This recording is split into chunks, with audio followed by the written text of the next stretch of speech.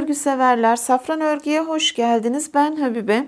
Bu videoda yeni çalıştığım çocuk süveterinin ölçü ve sayılarını vereceğim. Ayrıca ikili burgu, pirinç, tomurcuk örneğinin yapılışını göstereceğim. Bu model 4-5 yaş için uygundur. Sayıları eksiltip artırarak diğer bedenler için yapılabilir. Her bir santim örgüde 2.2 ilmek bulunmaktadır. Bu sayıyı baz alarak süveteri büyütüp küçültmeniz mümkündür. Süveter aşağıdan yukarıya ön ve arka olarak ayrı ayrı yapılıp dikişle birleştirilir. Yaka ve kol lastiği sonradan yapılır. Burada olduğunuz için hepinize teşekkür ederim. Beğeni ve yorumlarınızı bekliyorum. Eğer hala kanalıma abone değilseniz abone e, olunuz. Abonelikler tamamen ücretsizdir. Süveteri biraz yakından inceleyelim arkadaşlar. Ben bu süveteri yukarıdan aşağıya ve tamamen dikisiz olarak yaptım. Fakat videodaki düzenlemeleri e, süveter aşağıdan yukarıya örülecek e, şekilde ve iki parça halinde düzenledim. Önce 4 santim boyunda bir lastik öreceğiz. Daha sonra bir sıra haroşo. Haroşo'dan sonra örneği kuruyoruz. Örnek her iki taraftaki pirinç örgüden ve ön panelde düz örgü, tomurcuk örgü ve onun iki yanındaki ikili burgudan oluşmaktadır. Daha modern bir e, görünüm için kol evini normalden daha uzun çalıştım. Yine ön yakanın düşüklüğünü e, biraz fazla yaptım. E, yakanın rahat olmasını istedim. Ama e, siz daha yüksek bir yaka isterseniz yaka kesmesine daha yüksekten başlayabilirsiniz. Benim yaka derinliği lastik hariç yaklaşık 11 santim. Arka tarafta Hiçbir yaka şekillendirmesi yapmadım. Arka omuz e, ve yaka tamamen düz.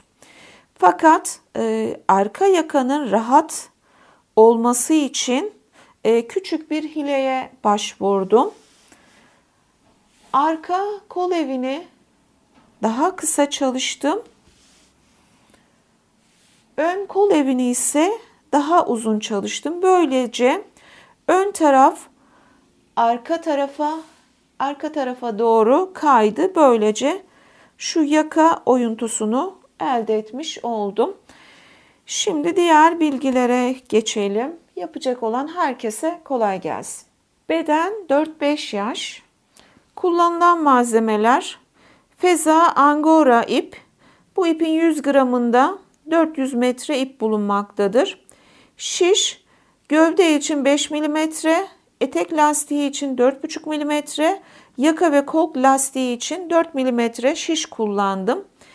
İp gerginliği 10 santim örgüde 22 ilmek bulunmaktadır. Yakayı örerken 40 santim misinalı şiş kullandım. E, gövdeyi örerken yine 60 santim misinalı şiş de kullanabilirsiniz. Klasik şiş ile de rahatça gövdeyi örmek mümkün. Ölçüleri vermek istiyorum. Süveterin genişliği 33 santim. Toplam göğüs çevresi 66 santim.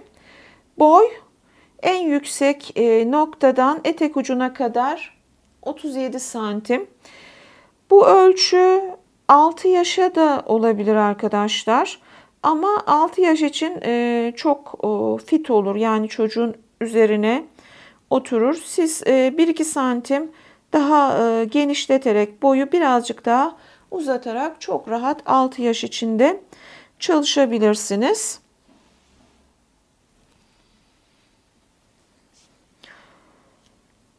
Evet omuz lastikler hariç 5,5 santim e, genişliğinde yaka lastiği 2 santim kol lastiği 2 santim bu iki yaka lastiği arasındaki açıklık ise 10,5 santim.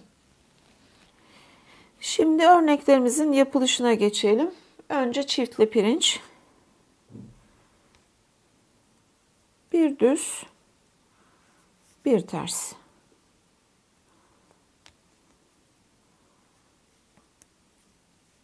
Düz. Ters.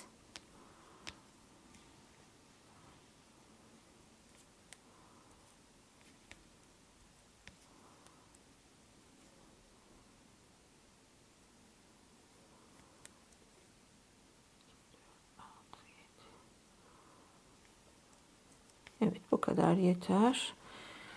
Şimdi ikili burgu. Bir ters. Şu iki ilmeğin üzerinde e, burgu yapacağız ama buraları düz örelim arkadaşlar. Bir sonraki sırada burgu yapalım. İki düz. Bir ters. Evet ikili burguyu da hazırladık. Şimdi tomurcuk bölümü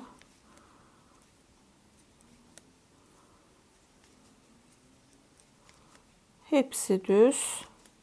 İki sıra düz ördükten sonra tomurcuklara başlayacağız.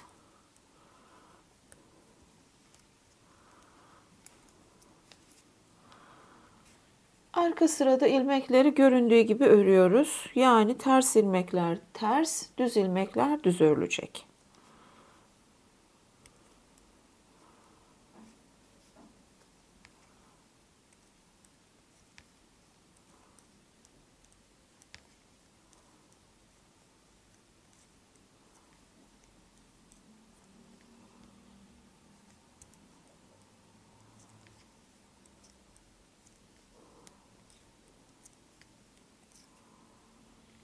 Bakın burada düz ilmeğe geldik. Düz. Yine tersler ters. Sıra, sıra sonuna kadar bu şekilde devam ediyoruz. İkinci arka sırayı ördük. Şimdi üçüncü sırada ön sıradayız. Çiftli pirincin iki sırası bitti. Şimdi bu sırada pirinç örgüyü örerken düz ilmekleri ters ters ilmekleri düz örmemiz gerekiyor. Kenar ilmeği. Bakın sıradaki ilmeğimiz ters. Bunu düz öreceğiz. Bu düz ilmek. Bunu ters örüyoruz.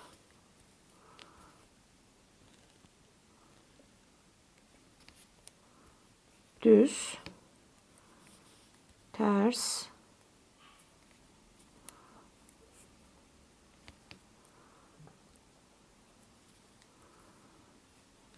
Evet pirinci tamamladık. Şimdi sıra ikili burguda. İkili, ikili burgunun iki yanında ters ilmeğimiz var. Bir ters. Şimdi burguyu yapacağız. Bunu e, basit bir yöntemle yapacağız arkadaşlar. Şu ikinci ilmeğe örgü yönünden giriyoruz. Şu şekilde ve bir düz.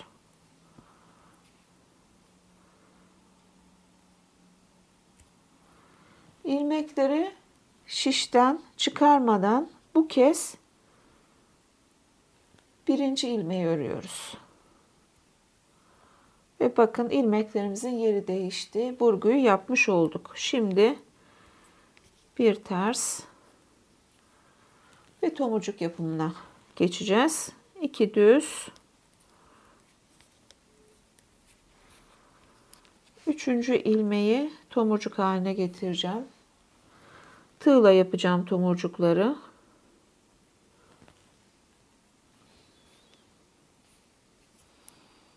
Bir, iki zincir, tığa ip dola, iki seferde çekiyoruz. Bir, 2 üçüncü kere batıyorum aynı ilmeğe iki seferde çekiyorum. Dördüncü ve son zincir.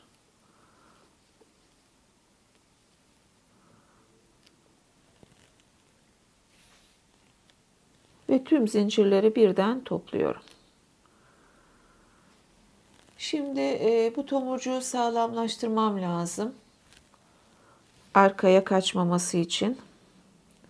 Bakın şu ipi tığın arkasına alıyorum. Şu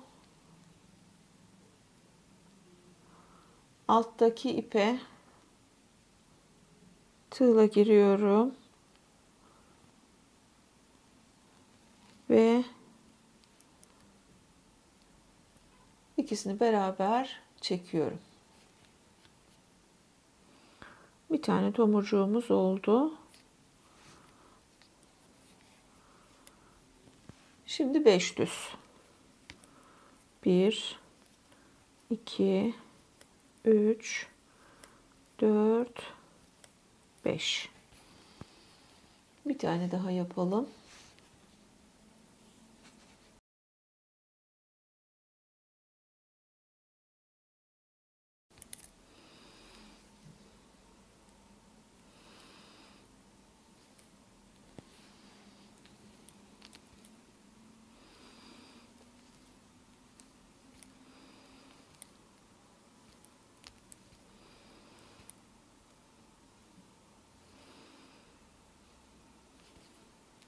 Ve 4.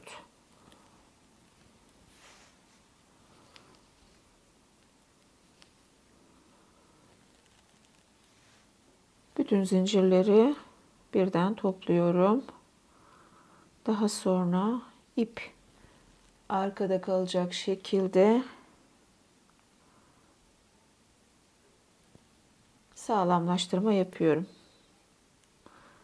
Böylece tomurcuk arkaya kaçmayacak.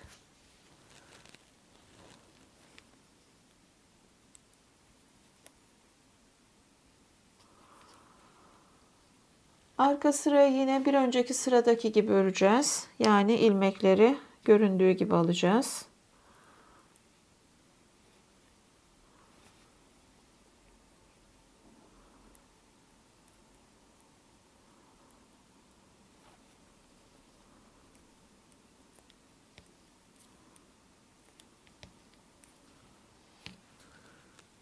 Tekrar ön sıradayım.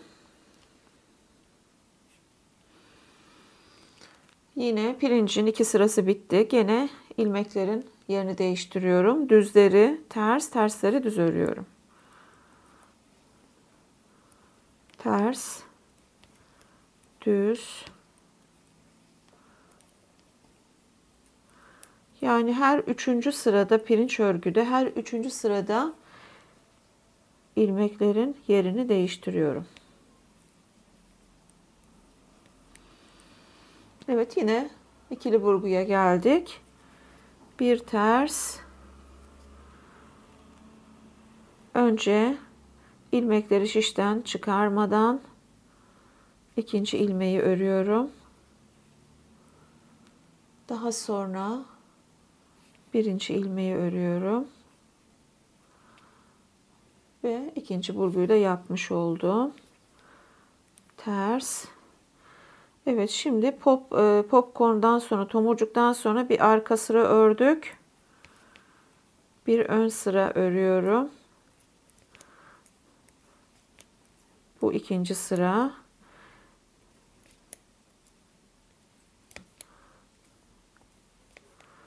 Toplam 5 düz sıra olunca tekrar tomurcuk yapacağız. Evet. Tomurcuktan sonraki üçüncü sıra.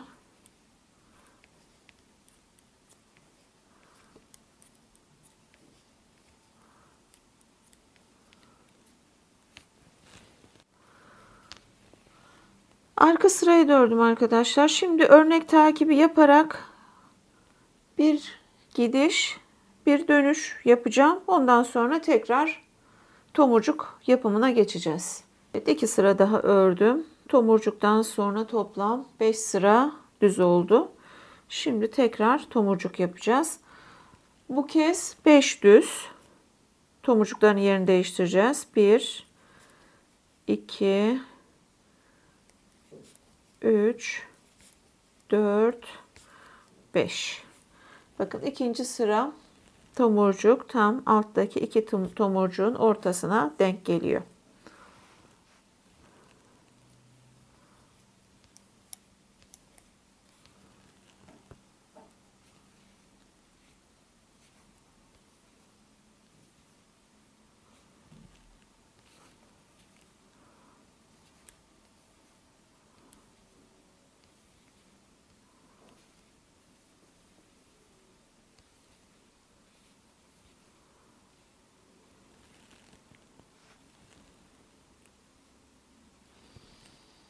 İp arkada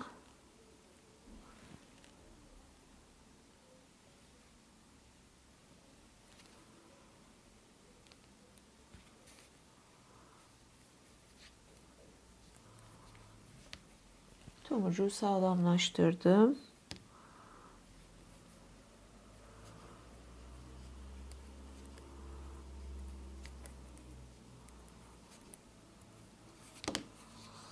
Evet, süveterin üzerindeki örneklerin yapılışı böyle. Gayet güzel ve zevkli bir örnek. 4,5 mm şişe 76 ilmek atarak örgüye başlıyoruz. Yuvarlak dikişsiz e, örmek isteyenler 74 ilmekle başlayabilir. Bu 76 ilmeği şu şekilde dağıtıyoruz. 21 pirinç, 4 burgu, 26 tomurcuk, 4 burgu ve 21 pirinç. İlmek dağılımına örgü üzerinde de bakalım. 21 ilmek pirinç, 4 ilmek burgu. Bu 4 ilmeğin iki tanesi düz ilmek. Bunlarla ikili burgu yapıyoruz.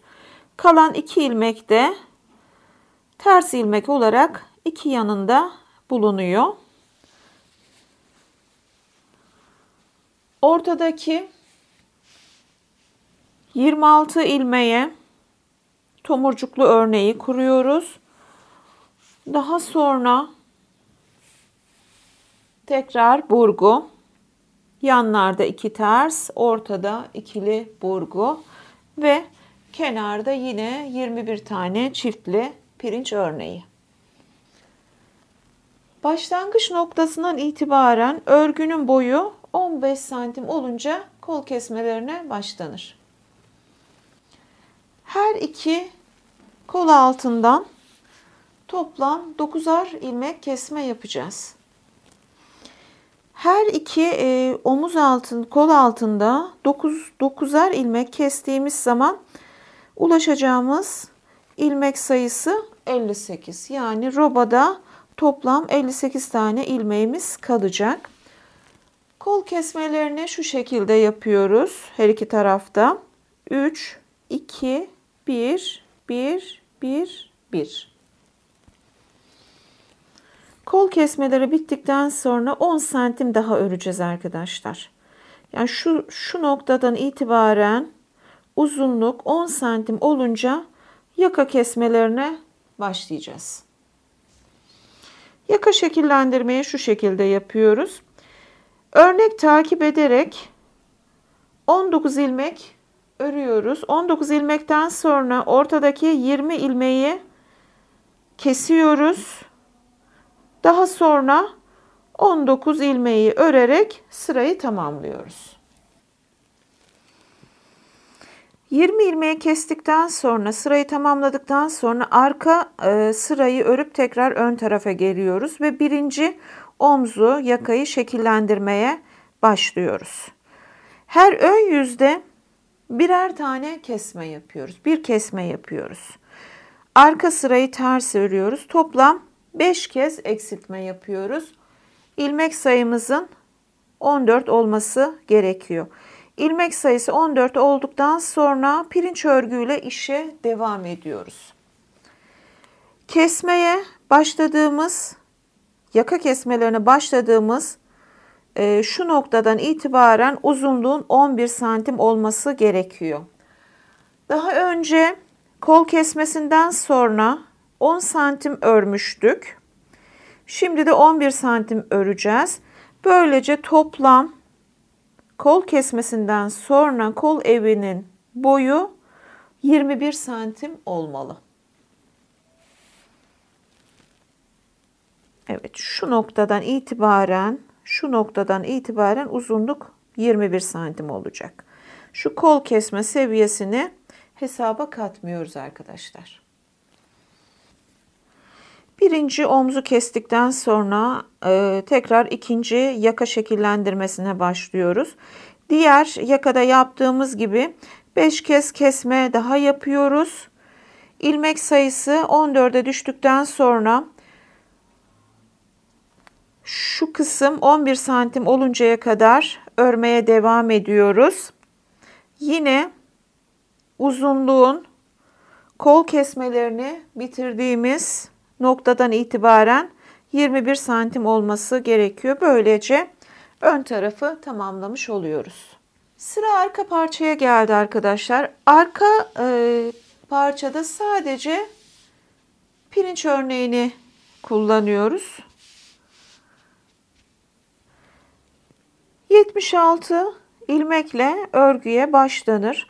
4 santim lastik ördükten sonra yine bir sıra haroşa örgü örülür ve pirinç örgü örgüye başlanır. Başlangıç noktasından itibaren örgünün boyu 15 santim olunca kol kesmelerine başlanır. Toplam 9'ar ilmek kesilir kol altında. 3, 2, 1, 1, 1, 1 şeklinde. Son kol eksiltmesinden sonra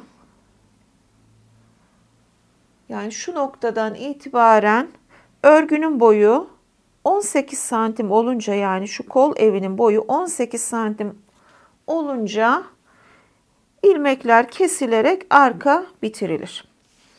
Hatırlıyorsanız ön tarafta 21 santim yapmıştık kol evini. Şu son eksiltme yaptıktan sonra 21 santim yapmıştık. Ee, arkanın boyu 18 santim olacak. Yani arka ve ön kol evi birbirine eşit değil. Ön daha uzun. Ön ve arkayı dikerek birleştirdikten sonra yakayı örmemiz gerekiyor. Ben yakayı e, örerken 40 santimlik misinalı şiş kullandım. Eğer bu kadar kısa bir misinalı şişiniz yoksa uzun misinalı şişle de yakayı örebilirsiniz. Ya da misinalı şişiniz yoksa omuzun e, birini birleştirmeden ilmekleri çıkarıp yakayı ördükten sonra e, omuzu ve yakayı dikişle birleştirmeniz de mümkün. E, ilmekleri çıkarırken arka yakadan yani şu iki iki omuz arasındaki bölgeden 30 tane ilmek çıkaracağız. Şu öndeki bölümden 20 ilmek çıkaracağız. Hatırlıyorsanız burada 20 ilmek kesme yapmıştık. İşte bu bölgeden her ilmekten bir ilmek çıkarmamız gerekiyor. Yani hiç atlama yapmadan çıkaracağız. 30 ilmek buradan çıkaracağız. 20 ilmek buradan çıkaracağız. Yan taraflarda ise ilmek çıkarırken atlama yapacağız. Her 5 e, sıradan 4 ilmek çıkaracağız. Yani şu şekilde e, göstermeye çalışalım. Diyelim ki şuradan 1, 2, 3, 4 tane ilmek çıkardık. 4 sıradan 4 ilmek çıkardık. Şu 5. ilmeği atlayacağız.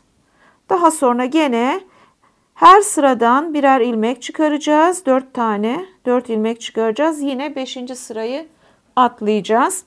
E, neden bunu yapıyoruz arkadaşlar? Eğer her sır, burada her sıradan ilmek çıkarırsak bu yaka lastiğinde marullanma olacaktır hoş bir görüntü olmayacaktır.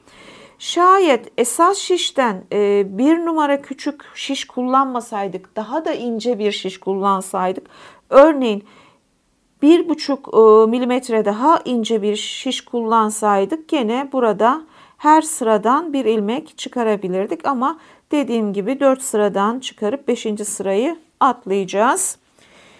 Kaç sıra lastik örmüşüm bakalım. Bakın 1, 2, 3, 4, 5, 6, 7. Ben 7 sıra e, lastik örüp daha sonra iğne yöntemiyle ilmeklerimi kapattım. E, siz e, isterseniz iğne iğneyle kapatabilirsiniz. İsterseniz şişle kesme yapabilirsiniz. Şema üzerinde de görelim. Arka yakadan 30 ilmek çıkarıyoruz. Ön taraftan 20 ile ilmek çıkarıyoruz. Yanlarda ise her 5 sıradan 4 ilmek çıkarıyoruz. Kol lastiğini yaparken arkadaşlar her sıradan bir ilmek çıkarıyoruz. Yani hiç atlama yapmıyoruz. Kol lastiğini misinalı şişle örebilirsiniz. E, klasik şişle örüp e, daha sonra dikerek birleştirebilirsiniz. Kol lastiğinin ilmeklerini çıkarırken yakada yaptığım gibi atlama yapmadım arkadaşlar. Her sıradan bir ilmek çıkardım. Kol lastiğini 7 sıra örmedim. 6 sıra ördüm. 7. sırada ilmekleri kestim. Bakın 1, 2, 3, 4, 5, 6 sıra. Yani bir sıra eksik yaptım. Süveteri bitirdikten sonra ılık sabunlu suyla yıkayarak kurutabilirsiniz. Kullanılan ipin %50'si yünlü olduğu için elde ya da makinenin yünlü programında düşük ısıda yıkamak gerekir. Aksi takdirde keçeleşme olup e, ölçü küçülecektir. Bir projenin sonuna geldik. Umarım siz de benim kadar bu süveteri beğenirsiniz. Yeni projelerde buluşuncaya kadar sağlıkla kalın, mutlu kalın, hoşça kalın.